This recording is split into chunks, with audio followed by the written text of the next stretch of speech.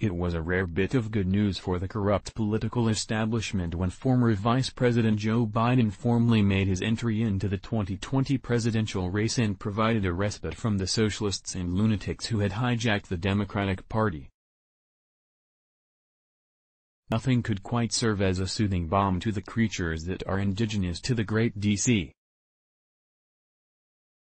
swamp than a career politician the likes of Creepy Joe a backslapping ally who knows the way that the system really works and is well versed when it comes to greasing the right palms. From poor Biden? Cast your 2020 vote now there was an increasing amount of dread with Democrat machine politicians and the special interests that they are reliant on that the socialists were gaining the upper hand and a choice between a fanatic like Bernie Sanders and the hated President Trump was the worst case scenario for the swamp. Now that Biden is officially the man he is starting to rack up endorsements by the score including a good-sized chunk of the Democrat legislature in the critical swing state of Florida. 23 endorsements from the Florida legislature's 64 Democrats, were gathered over the past month by State Rep.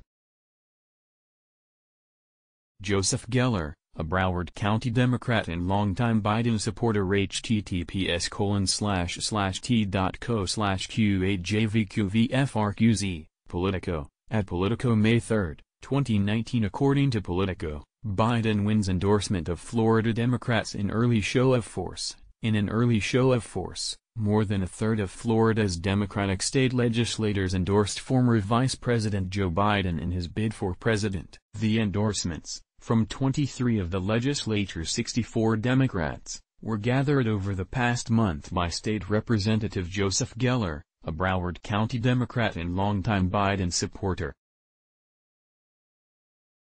Geller said Biden has the best shot at bridging a growing divide between progressive Democrats and those representing the party's more moderate, traditional wing.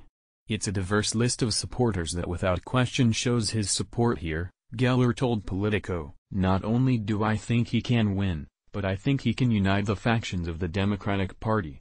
Geller began collecting endorsements in early April, weeks before Biden officially announced his candidacy on April 25, according to endorsement sheets reviewed by Politico. The state-level lawmakers joined former Florida U.S. Representative Patrick Murphy, who is also backing Biden's presidential bid. The former vice president entered a jam-packed Democratic field, but none of the candidates had won official endorsements from Florida lawmakers. Where should we send your free Trump 2020 hat? Enter your address here Biden's early lassoing of so many Sunshine State high rollers sets up a confrontation between old guard Dems and the extremist base which instead of backing a candidate like Gwen Graham who is the daughter of former governor and U.S. Senator Bob Graham took a flyer on Bernie's guy Andrew Gillum and lost the election. For Gwen Graham, loss is a rejection of her family's centrist politics https colon slash slash t.co slash xmpic.twitter.com slash oacom0ngv, Amy Hollyfield, at Amy underscore Hollyfield August 29, 2018 The scandal-tinged mayor of Tallahassee preached the socialist gospel and nearly pulled it out leaving many machine Democrats to wonder how things may have been different had they fielded a candidate who didn't alienate big business and swing voters and scare the hell out of moderates. Gillum was also reliant on playing the race card and continued with his divisiveness after the votes were counted by insulting President Trump. What's embarrassing to democracy is not counting every vote, and you, of course, count every vote.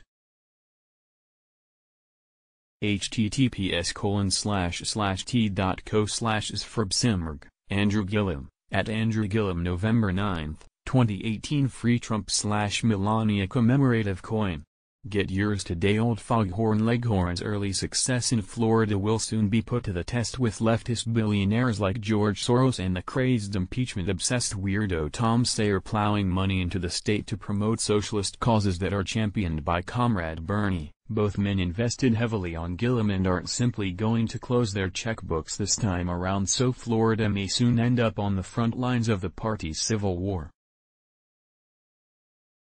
One thing is for sure though and that is Sleepy Joe will likely also draw the support of Jeb Bush's Republican allies who would rather gargle with gasoline than support Trump and they understand very well that the money spigots will once again be producing under a Biden administration.